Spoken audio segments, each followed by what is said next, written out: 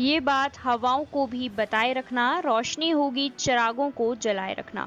लहू देकर जिसकी हिफाजत की हमने, ऐसे तिरंगे को सदा दिल में बसाए रखना। मानिकपुर के मुखिया अरविंद शाह की तरफ़ से पेरपेंती प्रखंड के सभी जिला वासियों प्रदेश वासियों को आज़ादी के अमृत महोत्सव 15 अगस्त स्वतंत्रता दिवस की हार्दिक हार्दिक बधाई एवं शुभकामनाएँ।